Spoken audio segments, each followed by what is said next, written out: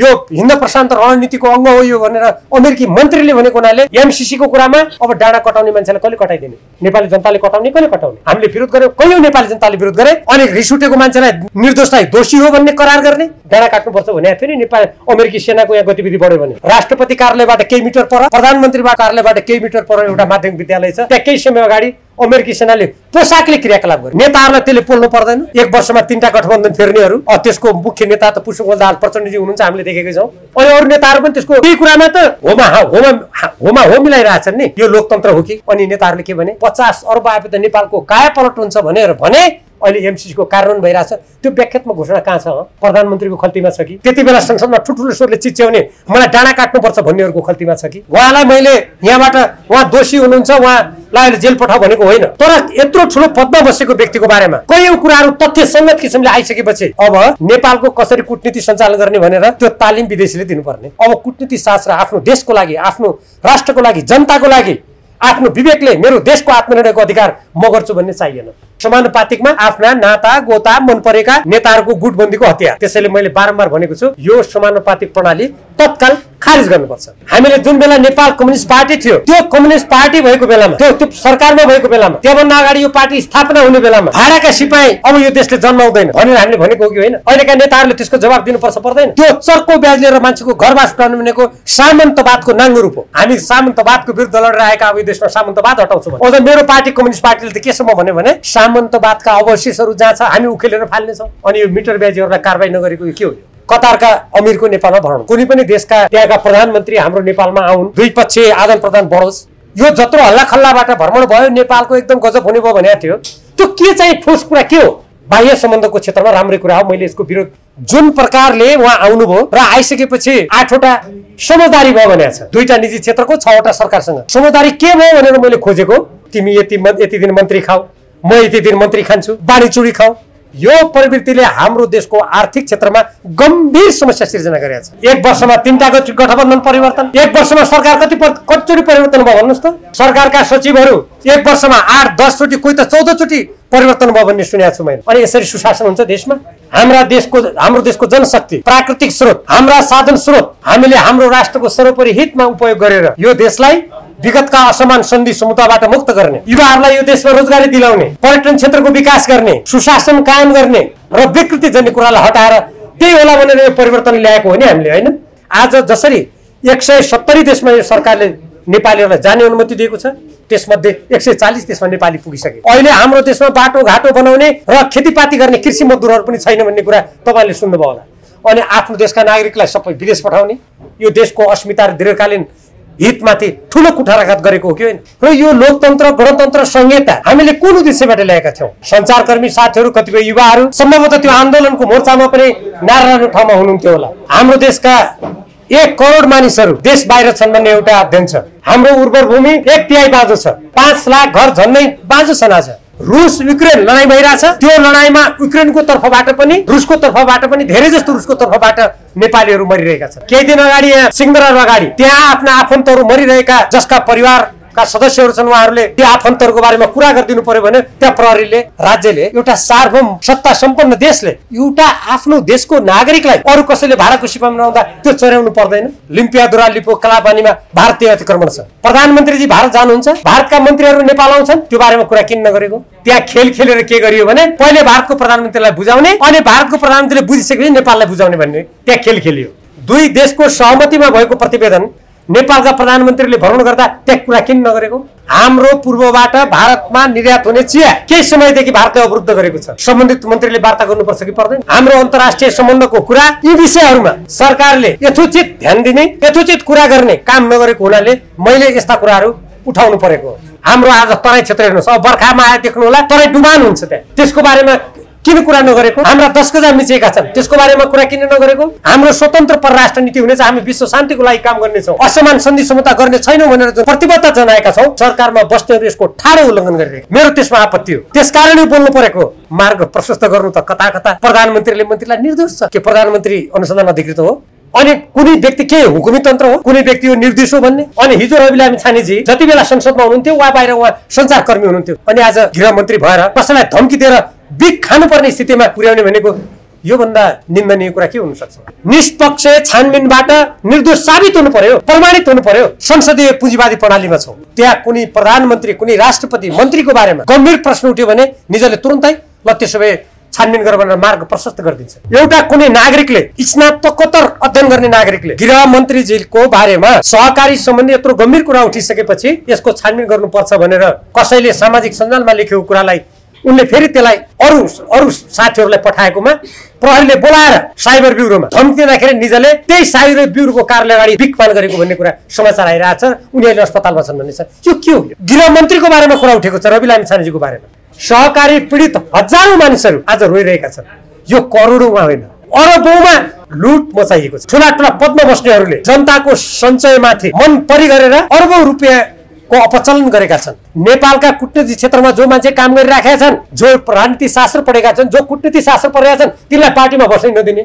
म पनि हुँ कुटनीति शास्त्रको। नेकपा एमालेमा जुन बेला मैले जुन बेला अन्तर्राष्ट्रिय सम्बन्ध र कुटनीति पढेँ त्यति बेला अर्को पढेको मान्छे थिएन। त्यस्ता मान्छेलाई त गोदावरीमा देखिहाल्नुभयो। औपचारिक जानकारी पनि छैन। अनि ल औपचारिक जानकारी नभए पनि भाग लिइहाल्नु न त भनेर सोद्धाखेरि चौबिस सय पच्चिस सय कति भाग लिन्छन् भनेको थियो महाधिवेशन प्रतिनिधि परिषदका सदस्यहरू। म पनि सदस्य हो मेरो परिचय पत्रै छैन। केही समय अगाडि यो आठ गतिदेखि नेकपा एमालेको गोदावरीमा महाधिवेशन प्रतिनिधि परिषदको बैठक बस्यो। म त्यो बैठकको सदस्य हुँ। तपाईँहरूको मनमा पनि जिज्ञासा होला। कयौँ नेकपा एमालेका सदस्यहरू अरू नागरिकहरूको मनमा पनि जिज्ञासा होला।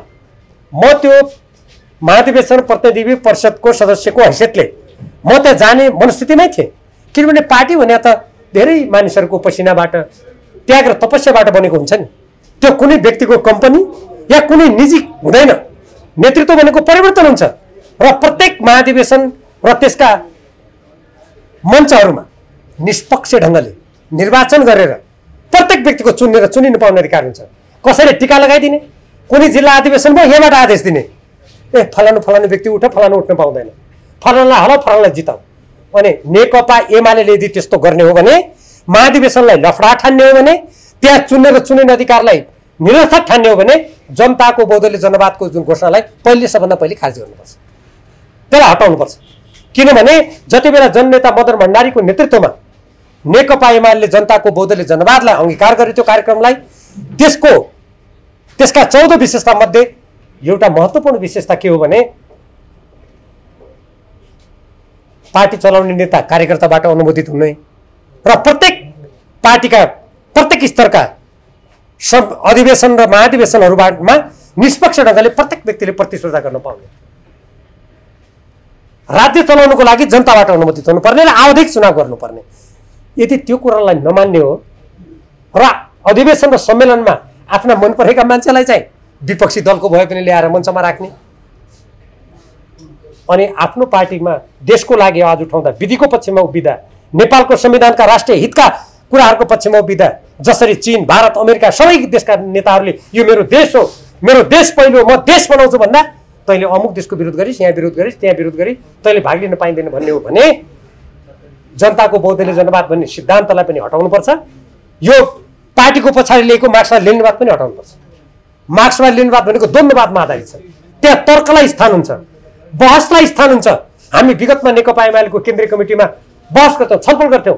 हो यही प्रसङ्गमा मलाई गोदावरी महाधिवेशनमा म त जानु इच्छुक थिएँ। मेरो त परिचय पत्रै बनेको रहेछ। अनि कोही कोही मान्छेले तर्क दिएको सुने। सबैलाई पठाएको छ नि मोबाइलमा। त्यो हाम्रो याप याप हेर्नुपर्छ। यापमा पठाएको छु नि। अनि भीमरावलाई छुट्टै पठाउने किन? को भीमराव? मलाई त गजब लाग्यो।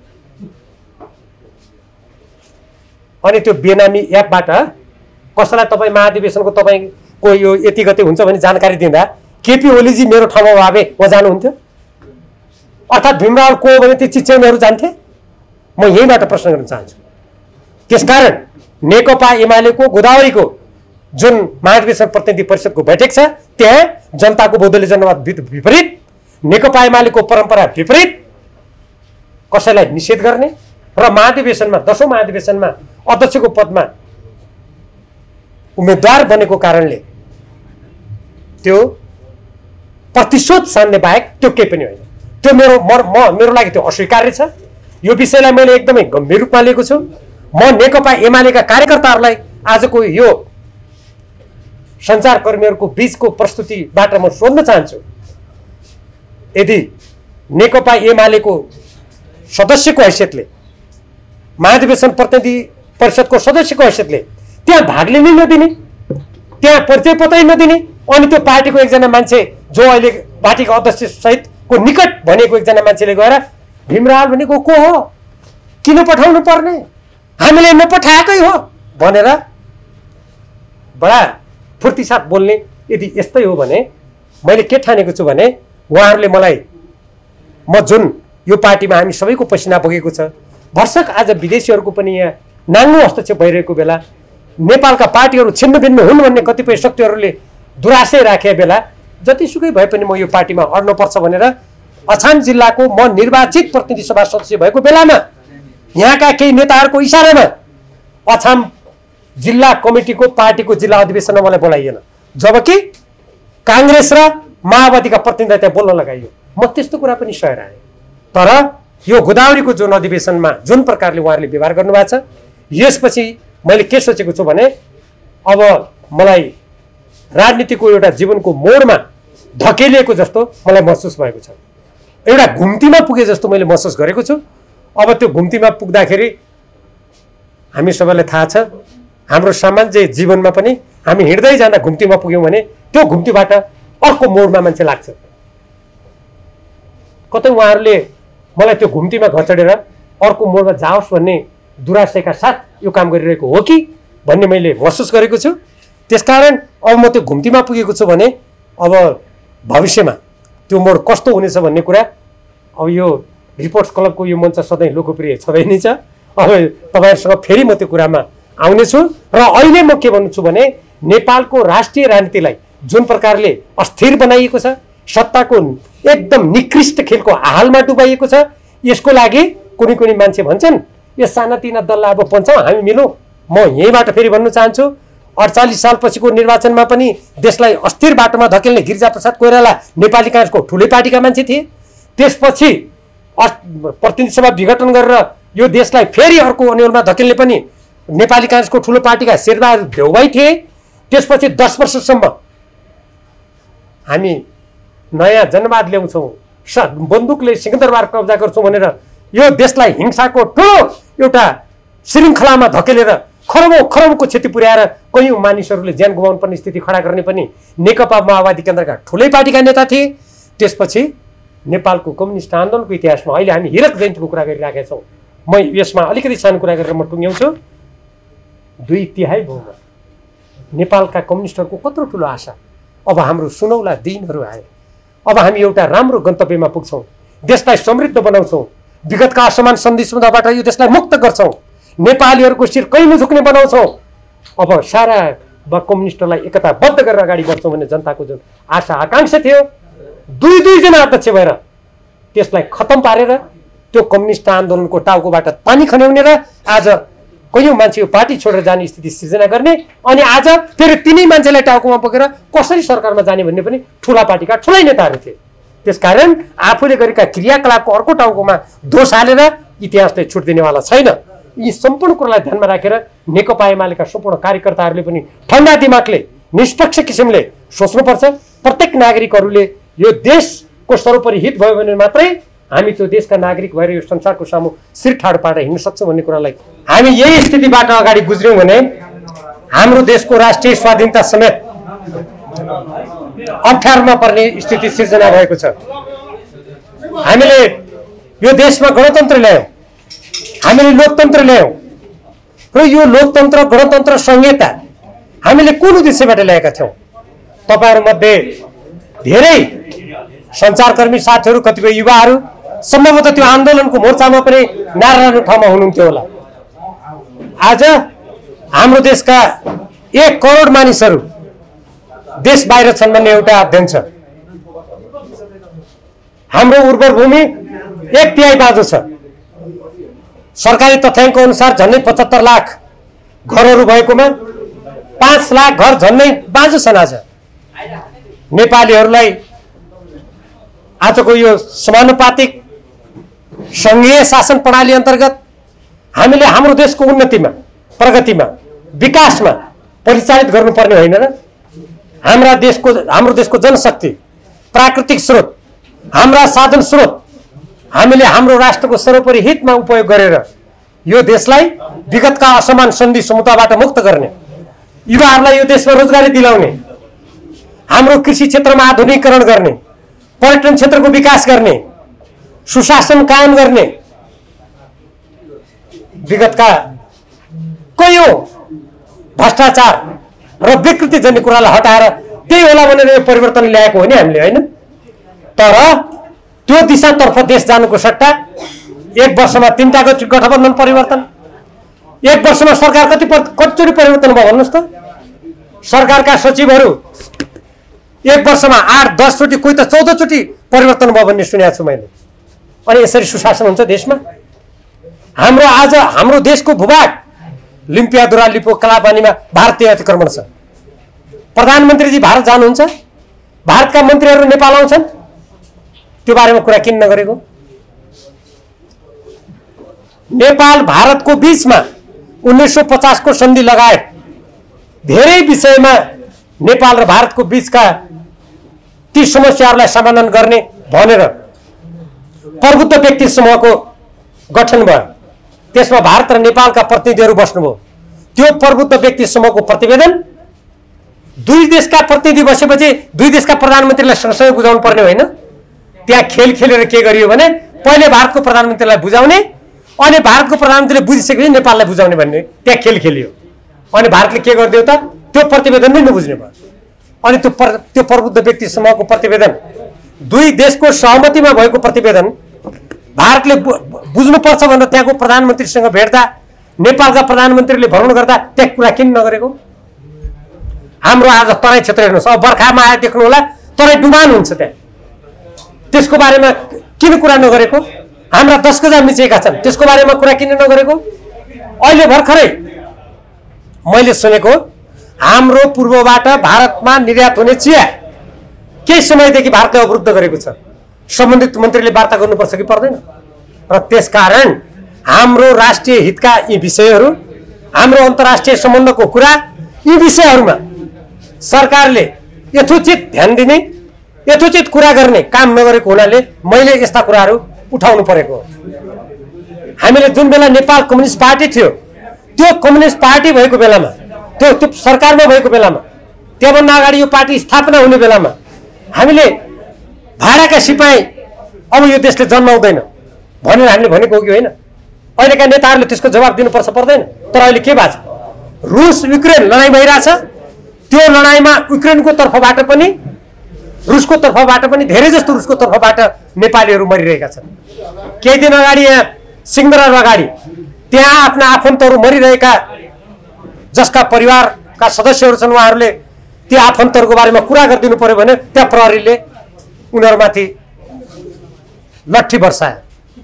अनि यो देशमा राज्यले एउटा सार्वभौम सत्ता सम्पन्न देशले एउटा आफ्नो देशको नागरिकलाई अरू कसैले भाडाको सिपामा नहुँदा त्यो चर्याउनु पर्दैन नेताहरूलाई त्यसले पोल्नु पर्दैन।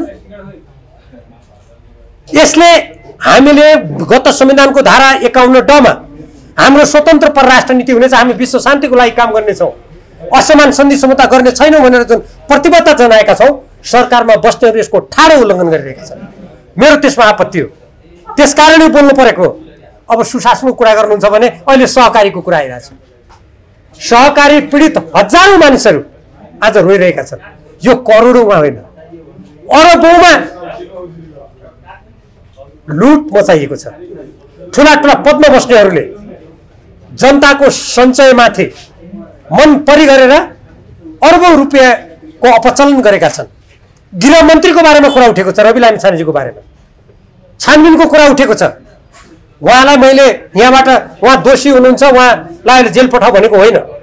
तर यत्रो ठुलो पदमा बसेको व्यक्तिको बारेमा कैयौँ कुराहरू तथ्यसङ्गत किसिमले आइसकेपछि छानबिन गर्नुपर्छ कि पर्दैन? मैले आज एउटा कुरा सुने। एउटा कुनै नागरिकले स्नातकोत्तर अध्ययन गर्ने नागरिकले गृहमन्त्रीजीको बारेमा सहकारी सम्बन्धी यत्रो गम्भीर कुरा उठिसकेपछि यसको छानबिन गर्नुपर्छ भनेर कसैले सामाजिक सञ्जालमा लेखेको कुरालाई उनले फेरि त्यसलाई अरू अरू साथीहरूलाई पठाएकोमा प्रहरीले बोलाएर साइबर ब्युरोमा धम्की दिँदाखेरि निजले त्यही साइबर ब्युरोको कार्यालय अगाडि बिकपान गरेको भन्ने कुरा समाचार आइरहेको छ उनीहरूले अस्पतालमा छन् भन्ने छ। यो के हो यो लोकतन्त्र हो कि? अनि हिजो रविलामी छानेजी जति बेला संसदमा हुनुहुन्थ्यो वा बाहिर उहाँ सञ्चारकर्मी हुनुहुन्थ्यो। उहाँ के बोल्नुहुन्थ्यो? अनि आज गृहमन्त्री भएर कसैलाई धम्की दिएर बिक खानुपर्ने स्थितिमा पुर्याउने भनेको योभन्दा निन्दनीय कुरा के हुनसक्छ? लोकतन्त्रमा संविधानले सबैलाई बोल्ने अधिकार दिएको छैन। यदि कोही व्यक्ति निर्दोष छ भने निजले निष्पक्ष छानबिनबाट निर्दोष साबित हुनु पर्यो प्रमाणित हुनु पर्यो। अहिले हामी संसदीय पुँजीवादी प्रणालीमा छौँ। मूलत रूपमा। संसदीय पुँजीवादी प्रणाली भएका देशहरूमा हेर्नुहोस् त। त्यहाँ कुनै प्रधानमन्त्री कुनै राष्ट्रपति मन्त्रीको बारेमा गम्भीर प्रश्न उठ्यो भने निजले तुरुन्तै ल त्यसो भए छानबिन गरेर भनेर मार्ग प्रशस्त गरिदिन्छ। अनि यहाँ मार्ग प्रशस्त गर्नु त कता कता? प्रधानमन्त्रीले मन्त्रीलाई निर्दोष छ। के प्रधानमन्त्री अनुसन्धान अधिकृत हो? के हो? अनि कुनै व्यक्ति के हुकुमी तन्त्र हो? कुनै व्यक्ति हो निर्दोष हो भन्ने? अनि रिस उठेको मान्छेलाई निर्दोषलाई दोषी हो भन्ने करार गर्ने? यो कानुनी शासनको ठाडो उल्लङ्घन हो उपहास हो। मिटरबाजीको स्थिति हेर्नुहोस्। यहाँ ऋषि धमलाजी हुनुहुन्छ उहाँले कतिचोटि त्यो रि त्यो मिटर ब्याजीको कुरा उठाउनु भयो मिटर ब्याजी भनेको त्यो चर्को ब्याज लिएर मान्छेको घरबास उठाउनु भनेको सामन्तवादको नाङ्गो रूप हो। हामीले के भन्यौँ? हामी सामन्तवादको विरुद्ध लडेर आएका अब यो देशमा सामन्तवाद हटाउँछौँ भन्यौँ अझ मेरो पार्टी कम्युनिस्ट पार्टीले त केसम्म भन्यो भने सामन्तवादका अवशेषहरू जहाँ छ हामी उखेलेर फाल्नेछौँ। अनि यो मिटर ब्याजीहरूलाई कारवाही नगरेको यो के हो यो मिल्छ? यी कुराहरूले हामीले जुन सङ्घीय प्रणाली ल्यायौँ हामीले जुन यो यो शासन प्रणाली ल्यायौँ यो शासन प्रणालीको बारेमा जनताले प्रश्न उठाउने स्थिति त्यसैले भएको छ। समानुपातिक हेर्नुहोस्। समानुपातिकमा आफ्ना नाता गोता मन परेका नेताहरूको गुटबन्दीको हतियार। त्यसैले मैले बारम्बार भनेको छु यो समानुपातिक प्रणाली तत्काल खारिज गर्नुपर्छ। अहिले एक वर्षमा तिनवटा गठबन्धन फेर्नेहरू त्यसको मुख्य नेता त पुष्पकमल दाहाल प्रचण्डजी हुनुहुन्छ हामीले देखेकै छौँ। अनि अरू नेताहरू पनि त्यसको त्यही कुरामा त होमा होमा होमा हो मिलाइरहेछन् नि। नत्र एकैजनाले सरकार परिवर्तन त गर्न सक्दैन नि। अहिले प्रदेशमा हेर्नुहोस्। कतिपय प्रदेशमा मन्त्री बन्यो मन्त्री परिषदको विस्तार छैन। सर्वोच्चको आदेशलाई मान्नु पर्दैन। अनि निरन्तरको यो जुन तिमी यति यति दिन मन्त्री खाऊ म यति दिन मन्त्री खान्छु बाँडीचुडी खाऊ संविधान निकायमा बाँडीचुडी खाऊ भन्ने जुन प्रवृत्ति छ यो प्रवृत्तिले हाम्रो देशको आर्थिक क्षेत्रमा गम्भीर समस्या सिर्जना गरेका छ। यसको अनुसन्धान हुन बाँकी छ। यसको कत कति असर परेको छ जनजीवनमा भन्ने कुराको अनुसन्धान गर्ने हो भने आज जसरी एक सय सत्तरी देशमा यो सरकारले नेपालीहरूलाई जाने अनुमति दिएको छ त्यसमध्ये एक सय चालिस देशमा नेपाली पुगिसके। आफ्नो देशमा तपाईँहरूले भर्खरै सुन्नुभयो होला अहिले हाम्रो देशमा बाटोघाटो बनाउने र खेतीपाती गर्ने कृषि मजदुरहरू पनि छैन भन्ने कुरा तपाईँहरूले सुन्नुभयो होला। अनि आफ्नो देशका नागरिकलाई सबै विदेश पठाउने अनि बाहिरी देशका ने नागरिकलाई नेपाल भरेर अब बाली नाली काट्नेदेखि सामान्य सेवाका क्षेत्रमा लगाएर नागरिकता अनि हामी खुकुलो पारिदिन्छौँ सबलाई भनेर यो देशको अस्मिता र दीर्घकालीन हितमाथि ठुलो कुठाराघात गरेको हो कि होइन? प्रत्येक देशभक्त नेपालीले यसमा गम्भीर रूपमा सोच्नुपर्छ। अहिले लगानी सम्मेलनको कुरा आइरहेछ। लगानी सम्मेलनमा सरकारले आठवटा अध्यादेश परिवर्तन गर्ने भनेको छ। तपाईँहरू कसैलाई थाहा छ के परिवर्तन गर्यो? जनता सार्वभौम भनेको होइन हामीले। यो संविधानमा लेखेको हो कि होइन? जनताको सार्वभौम सत्ताको सार्वभौम अधिकारको उपयोग अभ्यास संसद मार्फत हुन्छ नि। संसदमा किन पेश नगरेको? ती कानुन किन पेश नगरेको? लगानी सम्मेलन गर्दा यदि ती कानुन नेपालको हित अनुकूल कुनै कुरा परिवर्तन गर्नुपर्छ त्यसले राम्रो हुन्छ भने गर्नुहुन्न भने मेरो भनाइ होइन। तर नेपाली जनताले थाहा पाउनुपर्छ कि पर्दैन? संसदले थाहा पाउनुपर्छ कि पर्दैन? कोही कोही मान्छे आजकल भन्छन् नेपालका कानुन विदेशीको हितमा नभएकोले त्यो कानुन यहाँ लगानी भएन। अनि विदेशीको हितमा गर्ने हो कि हामीले लगानीको आह्वान विदेशीको हितमा के नेपालको हितमा गर्ने हो? हाम्रो नेपालको संविधानमा हामीले के भन्यौँ भने नीति निर्देशक सिद्धान्तहरूमा नेपालको राष्ट्रिय अर्थतन्त्रको हामी निर्माण गर्छौँ। हामी कच्चा पदार्थमा आधारित स्वदेशी उद्योगलाई प्राथमिकता दिन्छौँ। विदेशी सहयोग हाम्रा प्राथमिकताका क्षेत्रमा लिन्छौँ। संविधानमा त्यो लेखिया छ। सरकारमा बस्ने तिनका नक नजिकका मान्छे के भन्छन् भने अब विदेशीको हितमा हाम्रा कानुन नभए हुन लगानी भएन। अनि विदेशीको हितमा लगानी गरेर नेपालीले के पाउँछन् त? के पाउँछ?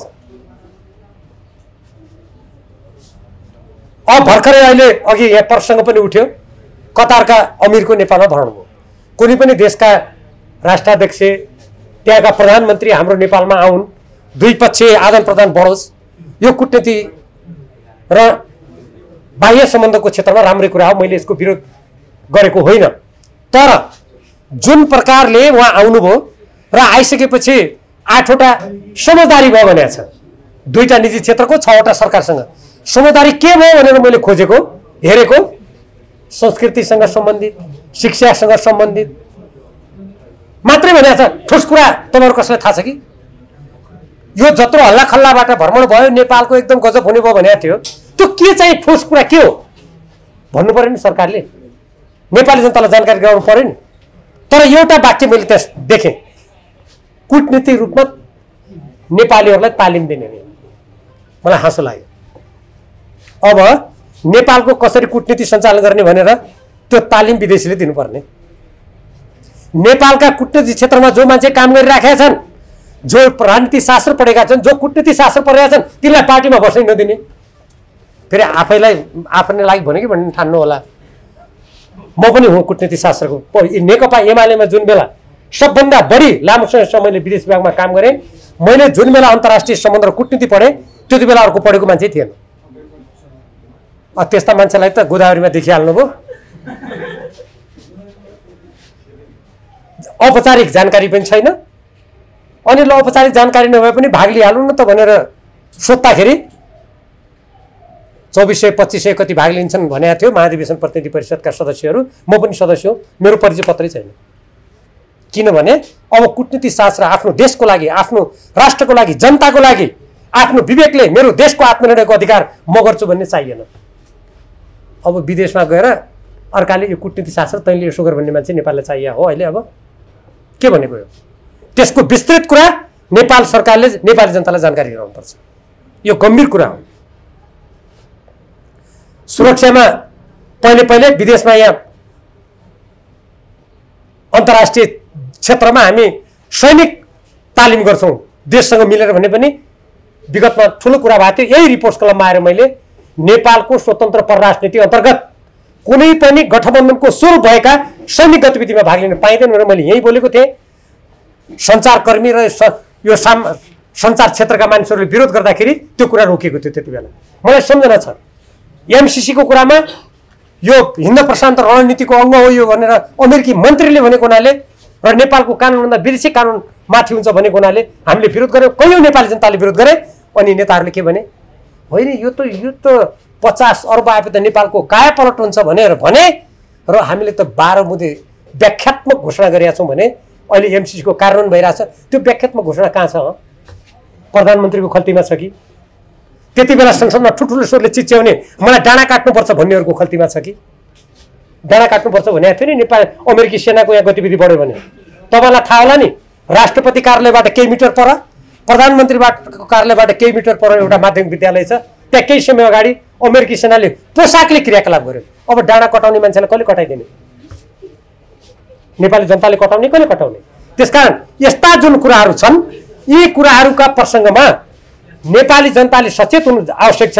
अब अलिकति नेकपा एमालेको बारेमा भनेर तपाईँहरूको बरु प्रश्न सुन्नुला।